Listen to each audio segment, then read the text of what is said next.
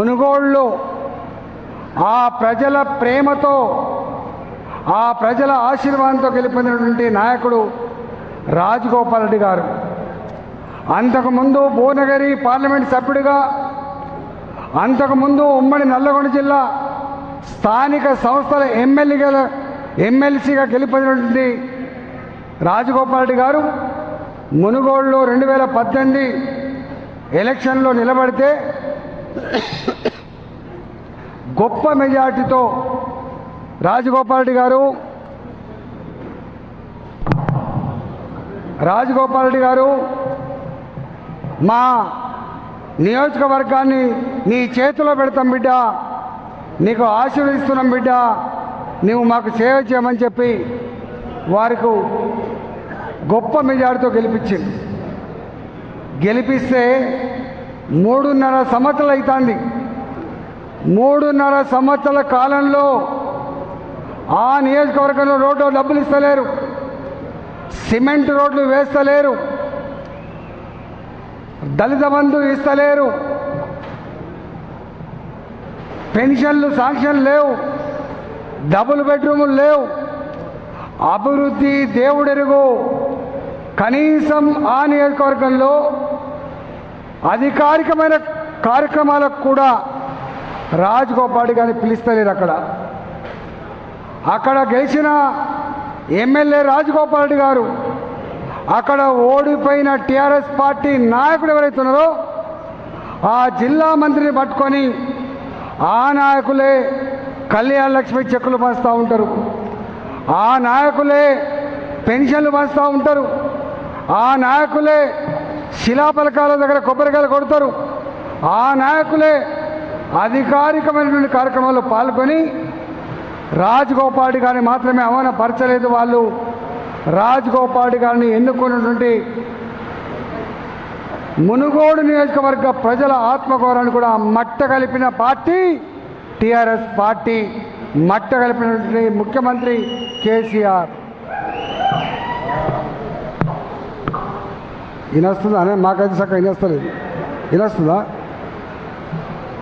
మరి ఆ ఎమ్మెల్యే అంతకుముందు ఉత్సాహవంతుడు అంతకుముందు ప్రజలు ప్రేమను పొందినవాడు అంతకుముందు రాజగోపాల్ అంటే ఆయనకేం తక్కువ అని చెప్పేటువంటి నాయకుడు ఈ మూడున్నర సంవత్సర కాలంలో అ- పడుతున్నటువంటి బాధ అనుభవిస్తున్న వేదన అవమానపరుస్తున్న తీరును భరించలేక నా నియోజకవర్గం బాగుపడాలంటే రాజీనామా తప్ప మరో మార్గం లేదని ఇవాళ ఆ పార్టీకి రాజీనామా చేసి రాబోయే కాలంలో ఈ దేశంలో భవిష్యత్తున్న పార్టీ భారతీయ జనతా పార్టీ మాత్రమేనని కేసీఆర్ను ఓడగొట్టగలిగే సత్తా శక్తి భారతీయ జనతా పార్టీకి మాత్రమే ఉందని నేను ఈ పార్టీలో కాంగ్రెస్ పార్టీలో ఉంటే నా ప్రజల్ని కాపాడుకోలేకపోతున్నా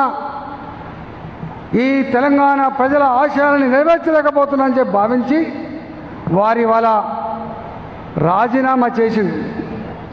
రాజీనామా పత్రాన్ని స్పీకర్కి అందించిన ఐదు నిమిషాల్లోనే రాజీనామా పత్రాన్ని ఆమోదించిండు స్పీకర్ గారు. కానీ అదే కాంగ్రెస్ పార్టీలో గెలిచిన పన్నెండు మంది ఎమ్మెల్యేలు. మీకంతా కూడా తెలుసు పన్నెండు మంది ఎమ్మెల్యేలు కాంగ్రెస్ పార్టీకి రాజీనామా చేయకుండా ఎమ్మెల్యే పదవికి రాజీనామా చేయకుండా బాజాప్తా ఇవాళ చట్టం మాకు అలవ్ చేస్తుందని చెప్పి పన్నెండు మంది ఎమ్మెల్యేలు టీఆర్ఎస్ పార్టీలో చేరి అందులో కొంతమంది మంత్రులై ఎలగబెడుతున్న వాళ్ళు ఇంకొక వైపు ఉన్న విషయాన్ని మనం మర్చిపోవద్దు. చట్టం ఏం చెప్పిందని ఇంపార్టెంట్ కాదు. కానీ ఆ కాంగ్రెస్ పార్టీ ఎమ్మెల్యేలకి మీరు కాంగ్రెస్ పార్టీ నుంచి వెళ్ళి గెలుపొంది. ఒక ప్రతిపక్ష పార్టీగా తెలంగాణ ప్రజానిక యొక్క సమస్యల పట్ల మీరు కొట్లాడండి. ప్రజాస్వామ్యంలో అధికార పార్టీ ఒక్కటే ఉంటే ప్రతిపక్ష పార్టీ బలహీనపడితే సమతుల్యత ఉండదు ప్రజాస్వామ్యం బతకదు దోపిడీకి దౌర్జన్యాలకు అంతం ఉండదని చెప్పి ఆ ప్రజలు ఆ నియోజకవర్గ ప్రజలు వాళ్ళకు ఓటేసి గెలిపిస్తే గెలిపిస్తే ఆ అభిప్రాయాలని తుంగలో తొక్కి ఆ ప్రజలిచ్చినటువంటి అధికారాన్ని మట్ల కలిపి నిస్సిగ్గుగా నిస్సిగ్గుగా వాళ్ళు పార్టీకి రాజీనామా చేయకుండా ఎమ్మెల్యేకు రాజీనామా చేయకుండా ప్రజాభిప్రాయాన్ని గౌరవించకుండా టీఆర్ఎస్ పార్టీలో చేరిన పన్నెండు మంది ఎమ్మెల్యేల సంగతి ఇవాళని అడుగుతున్నా. చట్టం ఏం చెప్తుంది కాదు మీకు కూడా దమ్ముంటే ధైర్యం ఉంటే మేము ఈ నియోజకవర్గాల్లో ప్రజాభిప్రాయం కోరగలరని చెప్పి అడుగుతా ఉన్నా. మా వాళ్ళు కౌన్సిలర్ ఇక్కడనే ఉన్నారు. వాళ్ళ దగ్గర నాకు తెలిసి కాంగ్రెస్ పార్టీ గెలిచింది అనుకుంటా ఎమ్మెల్యే అంతేనా? కాంగ్రెస్ పార్టీ గెలిచింది. అక్కడ మొన్న కౌన్సిలర్ ఎన్నికలు జరిగితే కార్పొరేషన్ ఎన్నికలు జరిగితే ఎల్బీ నగర్ ఎల్బీ నగర్ మొత్తానికి మొత్తమే మొత్తానికి మొత్తమే బీజేపీ గెలిచింది.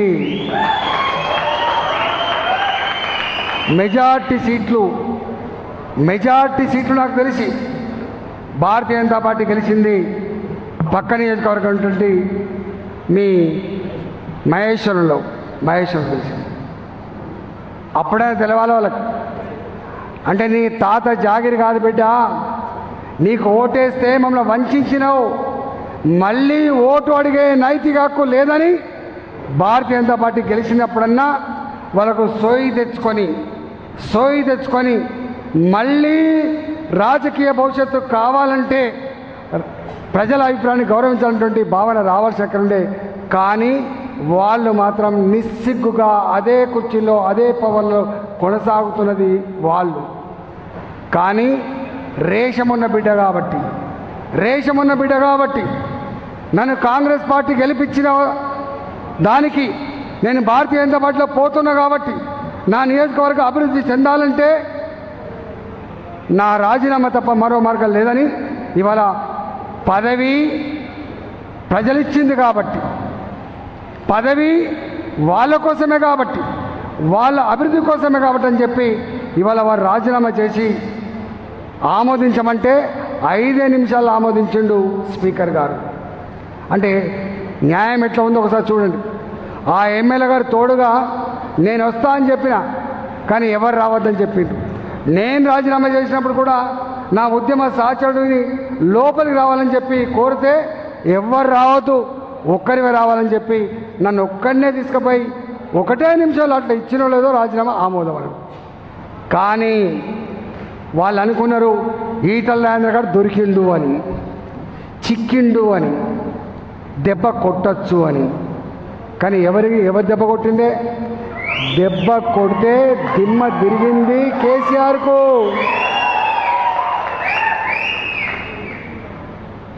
డబ్బులు నమ్ముకున్నది మీరు దౌర్జన్యాన్ని నమ్ముకున్నది మీరు మఫ్టీలో ఉన్న పోలీసులు నమ్ముకున్నది మీరు మద్యాన్ని నమ్ముకున్నది మీరు ధర్మాన్ని నమ్ముకున్నది నేను ప్రజల్ని నమ్ముకున్నది నేను ప్రజాస్వామ్యాన్ని నమ్ముకున్నది నేను నన్నే గెలిపించిండు ఇవాళ కూడా మునుగోడులో రాజగోపాల్ రెడ్డి గారు దేన్ని నమ్ముకున్నాడు? ప్రజాస్వామ్యాన్ని నమ్ముకున్నాడు. ప్రజాస్వామ్యాన్ని నమ్ముకున్నాడు. ధర్మాన్ని నమ్ముకున్నాడు. మునుగోడు ప్రజలు నమ్ముకున్నాడు. తెలంగాణ ప్రజల ఆత్మగౌరవ బావుట నిలిపాలటువంటి కర్తవ్యాన్ని భుజం మీద ఎత్తుకున్నాడు.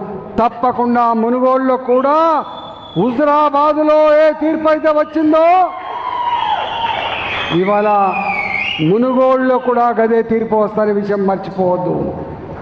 ఇవాళ వాళ్ళు అనుకుంటారు మునుగోడు కాదు సుమా మునుగోడు లాగా మరింత మంది ఎమ్మెల్యేలు కూడా రాజీనామా చేయడం సిద్ధపడుతున్నారు గుర్తుపెట్టుకో. నీకే ఉపాయం రాదు బిడ్డ. నీకే ఉపాయం రాదు. మాకు కూడా ఉపాయం ఉంటుంది. నీకే స్ట్రాటజీ ఉండదు. మాకు కూడా స్ట్రాటజీ ఉంటుంది. నీకే అనుభవం కాదు మాకు కూడా ఉంటుంది అనేది రేపు మునుగోడులో తెలుసుకుందాం రేపు మునుగోడులో తెలుసుకుందాం. ఇవాళ ఈ నియోజకవర్గంలో ఈ జిల్లాలో ఉన్నటువంటి నాయకులందరూ కూడా నేను అప్పీల్ చేస్తున్నా మీ పక్కకే ఉంటుంది మునుగోడు కాబట్టి మీ పక్కకే ఉంటుంది మునుగోడు కాబట్టి హుజరాబాద్కి ఎట్లయితే మీరు వచ్చి గొప్పగా పనిచేసి తెలంగాణ ఆత్మగౌరవాన్ని మీ బిడ్డ నన్ను గెలిపించిందో రేపు కూడా మునుగోడులో తెలంగాణ ప్రజల ఆత్మగౌరవాన్ని మునుగోడు ప్రజల ఆశయాలని రాజగోపాడి గెలిపించడంలో మీరంతా గొప్పగా తల్లి రావాలని చెప్పి ఈ సందర్భంగా మీ అందరూ కూడా వినమ్రంగా విజ్ఞప్తి చేస్తున్నా.